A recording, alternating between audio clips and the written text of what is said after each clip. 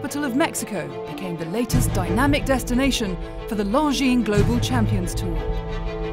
The lush green grounds of Chapultepec Park were a frenzy of activity as visitors flocked to experience a feast of world-class show jumping.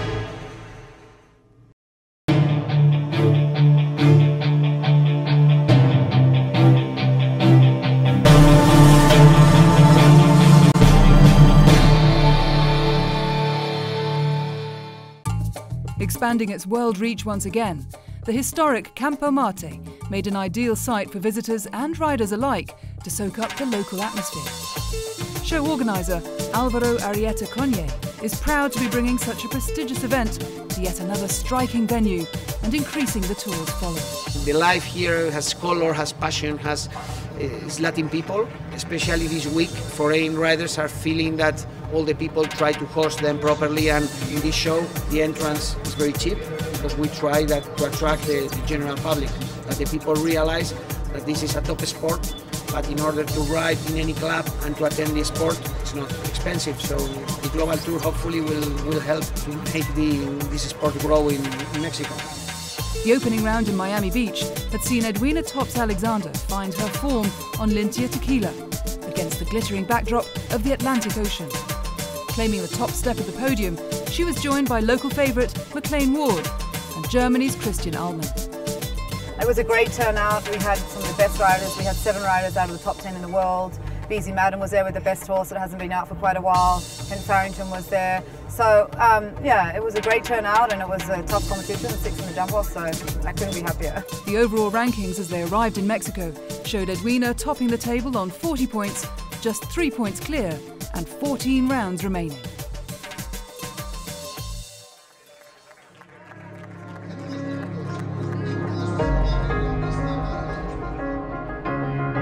With the events on the tour calendar mirroring some of the most exciting and glamorous motor racing Grand Prix fixtures. Olympic gold medalist Ben Maher finds it hard not to make comparisons between the two sports. There's many things within our sport that perhaps have the complexity like Formula One does with the, we don't have the change of tyres obviously but we have a number of different factors that the warm-up really contributes to and if the warm-up goes well it brings 110% out in the horse in the ring. A driver has ultimate control of his vehicle, but in show jumping, it's about finding the right qualities in a horse and creating that perfect bond with the rider. When I'm picking a horse, I love to look for a good attitude, a will to win, athletic ability. We're dealing with animals and many different factors come into play. Aristo, for instance, tends to always do well when he jumps by the beach for some reason. Very weird, but uh, he loves Cannes, Monaco, Miami, the glamorous places. Fine-tuning a supercar prior to an event is vital. And for Ben, it's that time before entering the arena that allows him to iron out any creases. Aristo, he's a crazy horse in the warm-up, so we tend to jump very few jumps. He has to stand in the corner, relax, um, a little bit racehorse style, and then we just let him off and he goes. Whereas other horses like to jump smaller in the warm-up, so they're confident when they go in. Their attributes are better in different arenas and, and different climates even as well. So what is the formula for that perfect Grand Prix winning partnership? It takes 12 months, I think, to really get to know a horse, um, to bond and take time with them to build a great partnership and combination. And we're just looking for horses that have the will to win like myself and my team do.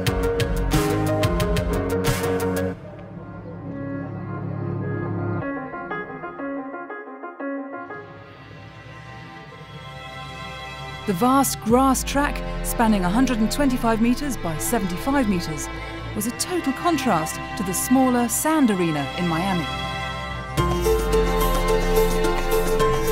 Uliano Vezzani had created a 1 metre 60 course with challenging lines. And even some of the top riders in the world were challenged. No, Ranis It was going so well. Just a mistake at the last. Should be pretty disappointed. It was Belgium's Jos Verlooy, the 16th rider to go, who achieved the first clear round on Caracas. That's fantastic, right? Yeah. Lovely.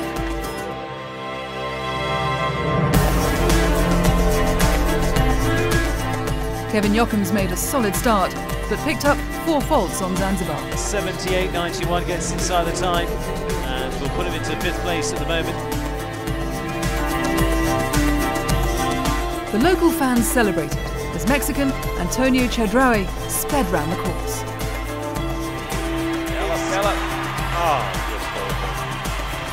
Finishes on just the one title, 79.70.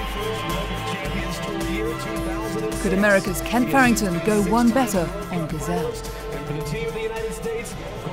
Well, currently number six on the Longines World Rankings. And part of the success of the Pan Am Games, of course, it was World Equestrian Games. Before that, bronze for the US. And the focus on this man's face. He's determined, that's for sure. Always think is so, and you can see it in these first three fences, Hunters, is the balance and control this man has. It's amazing. His body control, all of it. Is, he, he's so athletic. You know, Yeah. he can walk around on his on his hands, Yeah. and he's, he's like a monkey. He can jump on anything, climb it up. He's uh, I actually, I actually don't read too much of this. I saw him in the gym one morning working out, and I mean, he was doing exactly that. It was, it was lots of, lots of exercises, none of it involving weights or anything, just his own body weight, Yep. using that, moving around for suppleness and, and, and for all of that, being able to use his weight and his, his balance, and Yep. that's exactly what he was doing it for. So he did the six after the plank, and it really suited this mare. She jumped. Yeah. She had a little rub at, at the back bar, but she really jumped it well, and I think that was a good plan for him. Come on.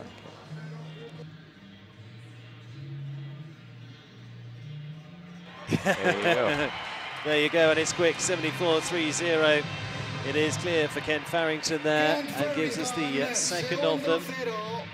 Segundo jinete que asegura su presencia en la segunda ronda de este Gran Premio de México James Global Champions. Looking for a speedy round, Britain's John Whitaker picked up four faults on Argento.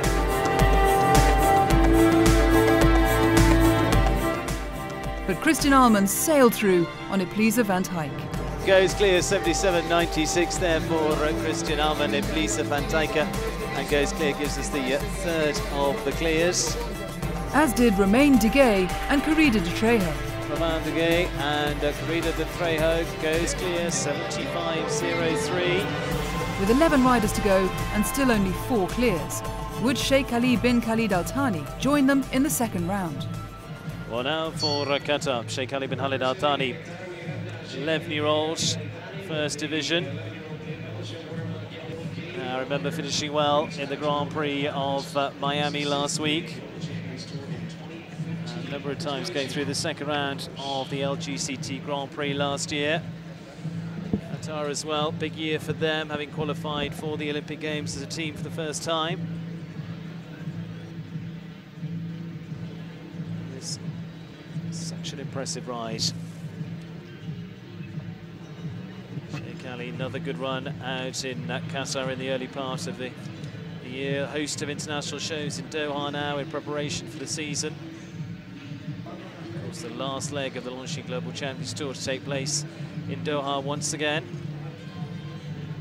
Now on the four, but the fours, well, even the slowest of the fours is in 10th place at the moment.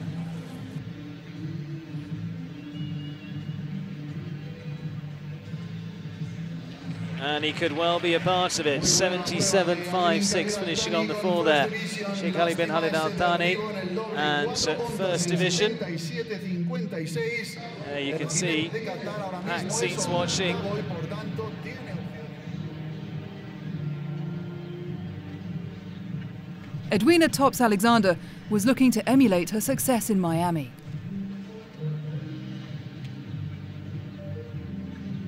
coming in a wave of confidence. A two-time champion, I'm sure delighted to get the armband back on as leader of the series. Fours looking as there was certainly going to be some fours through. Question will be how many of them.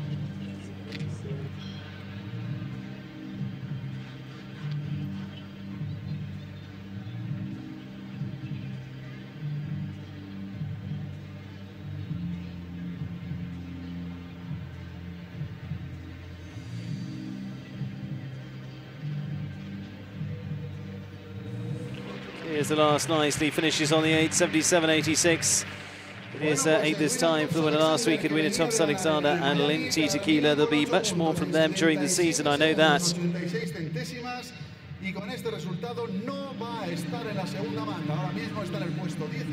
And Roger Yves Bost had made his intentions clear on Coup de Coeur de la Loge. Twice winner on the uh, Longines Global Champions Tour. Grand Prix, many, many times winner in the five-star classes. European champion in 2013.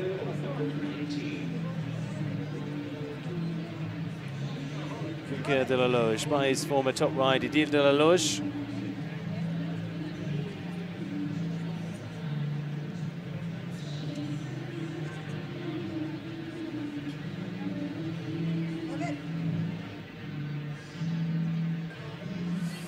Has he got it? Has he got it? Yes, he has. 77.86. He looks back.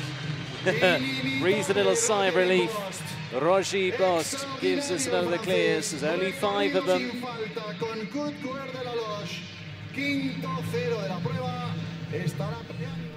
Just three riders were left, and the pressure was on for Ireland's young success story, Bertram Allen. Bertram Allen now, one of three left to come. Nel Delahunty, Connacht Bloodstock's uh, Hector, nine-year-old by uh, Gabriel van der Heffink. The young talent from Ireland, 20 years of age.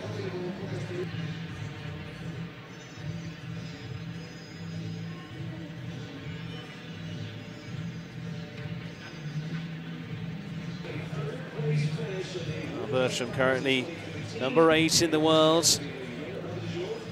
Youngest winner on the Longines Global Champions Tour, that coming last year in Paris.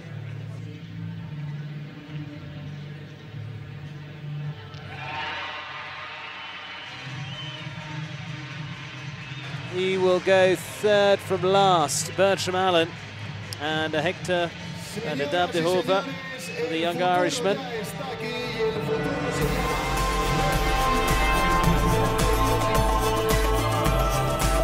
Last up, and carrying eight faults, Scott Brash was forced to retire.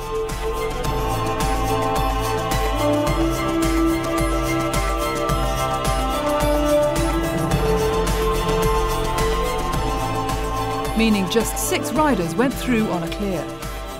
Mexico's Antonio Chedraui joined them with one time penalty, nine others on four, and two with five. It had been a tough start to the competition, but the battle would only intensify in round two.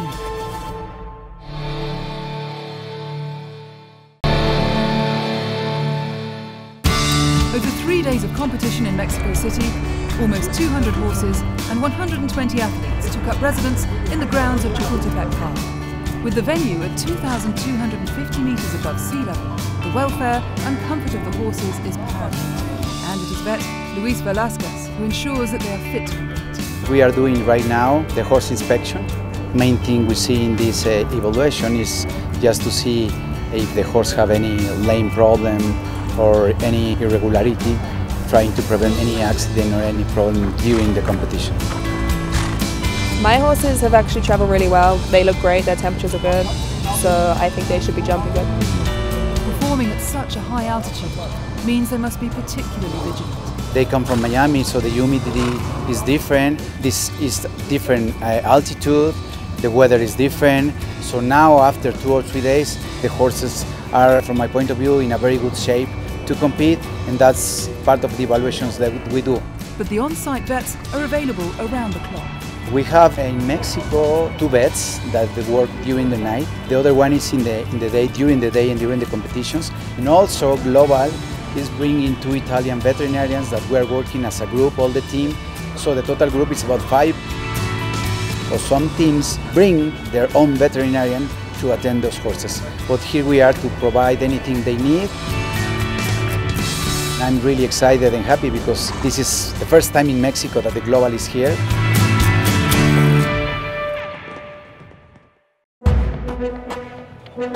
400,000 euro prize fund in their sights, the riders readied themselves for round two. returning in reverse order of scoring time. Kevin Jochems and Zanzibar lay down the gauntlet. So picking up the four, to eight in total. And Argento rose to the occasion for John Whitaker. Reduces it to just a four-fault round across the two rounds, 71-41 for John Whitaker and uh, Argento. was an efficient ride for Steve Guerdat and his mare Bianca. 69.04 for uh, Steve Guerdat and uh, Bianca looks very impressive indeed. Rolf Goran Bengtsson picked up the pace. Rolf Goran Bengtsson reduces the clear this time, 72.12. But sadly, for the Mexican crowds, there was one fence down for Chedraui. Huge cheer for the crowd. Finishes on the five across the two rounds, 76.89. Antonio Chedraui produces everything he can there. The first double came from Germany's Christian Ahlmann. Christian Ahlmann once again producing the goods, does it beautifully. Roger Yves Bost followed suit. It is a second of the clear, so we will have a jump off. Roger Yves Bost of France. Jos Verlooy made it three through to the jump off. He's going to be very happy with that one, Jos Verlooy and uh, Caracas.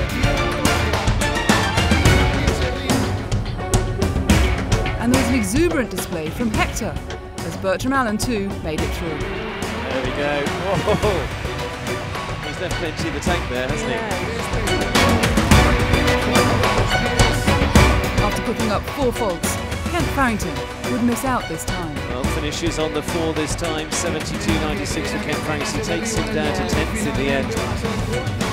With four of the six riders achieving double clears, it promised to be a thrilling jump-off to decide who will be crowned Mexico's first Grand Prix winner. The crowds were expectant as the course was set for the final showdown. First to enter the arena was Christian Ahlmann and Elisa van 't Heyck. So there, well, one flag flies, which will be the nation's flag that flies as our winner. We've got the options of uh, Germany, France, Belgium, or Ireland. So Christian Ahlmann to lead us off. Lisa Van Tijker. So that new fence then down to the vertical here. Got to respect this one. Can't go charging at it. Tight turn back is he so good at. Here we've taken a fence out. just to the vertical. Then the uh, double that remains. 10A and B, and he, oh. Leaves him two. There's plenty of space to get to the last. Finishes uh, on the 439.72. Again, just not not the best draw. So of course he, you know, he threw a bit of caution to the wind there. He came really, you know, took one less stride to that double this time, um, which I'm sure everyone's going to do. Uh, just unfortunately made it perhaps a little bit too much ground up in there. Like the horses have jumped two big rounds, they're going to yeah. be probably feeling a little bit tired in this round. But um, unlucky, really unlucky. 72 with four faults is the current. That's where it came. Yeah just thinking about the turn as well a little bit.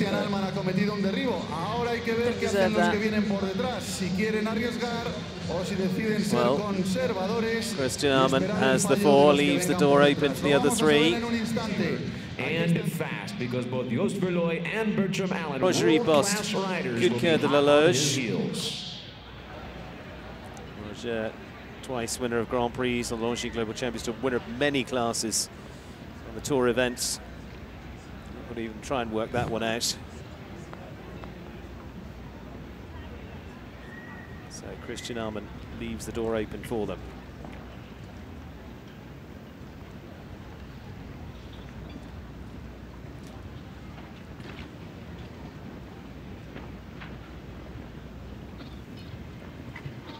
He's coming on the turn.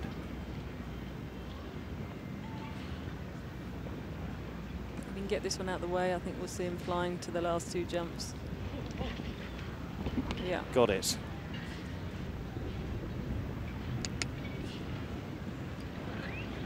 One more. He's going to really put them under yeah. pressure. There you go, Bosty, 37-2-3. Come and get me, he says. I don't think that horse jumped, uh, touched defence in all those three rounds. No. That, that jumped absolutely superbly, and he rode it brilliantly. Spot on from Roger Bost. Clear 37-2-3 from the Frenchman. Whatever happens with the next two, I mean, that was a brilliant performance. Absolutely, absolutely. He's a master.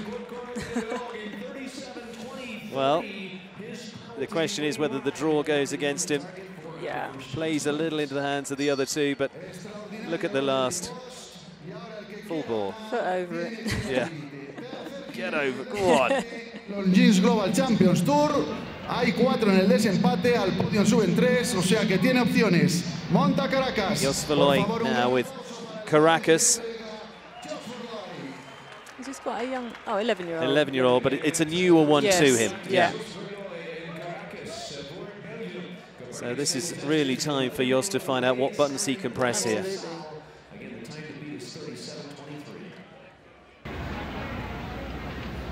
nothing to lose, that's for sure. Yeah.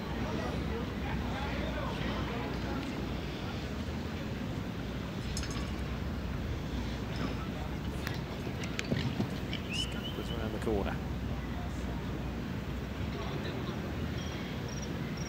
What's this time reminder 37-2-3. He's going to have to go now. Going to be tight. He's got to really go, really push. He's not going to get there in time. It's going to be a nice round. I think that was probably part of the strategy. I think so, I think so. Like you said, he doesn't know the horse so well yet. He obviously knew how fast Bosty was. Yeah. Got, you know, three clear rounds, you can't ask for any more than that. 41.63 on the clock for Jos Verlooy. And Caracas goes into second. Well, they'll, ma- they'll make podium, whatever happens.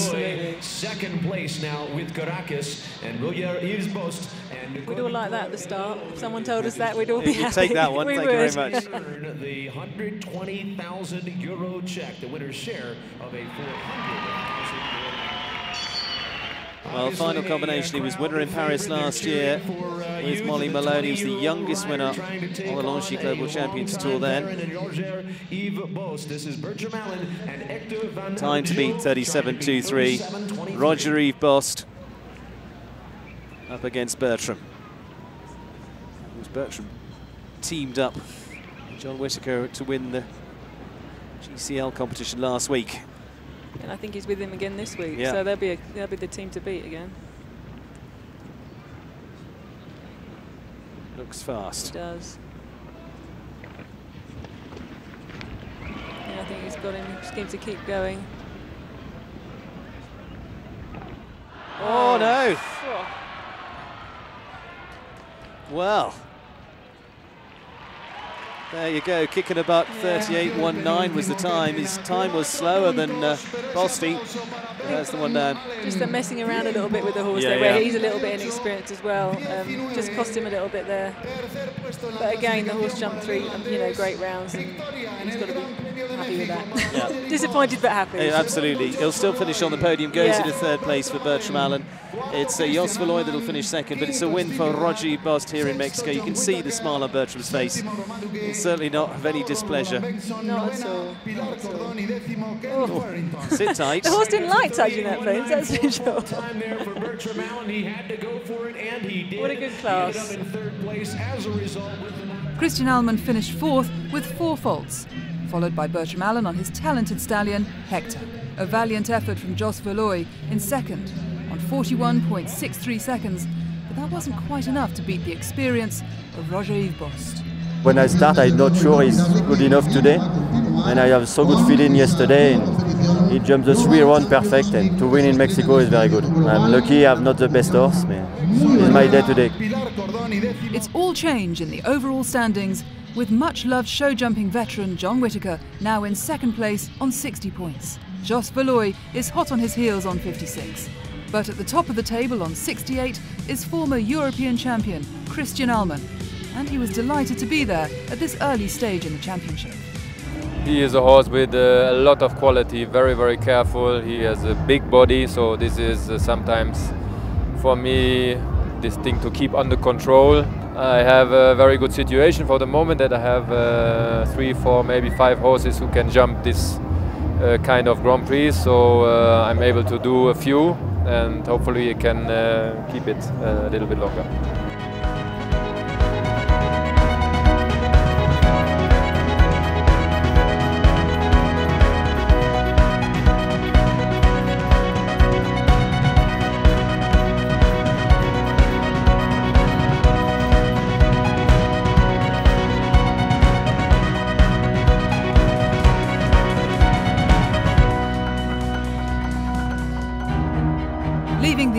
Continent behind, the riders now head to Europe for round three.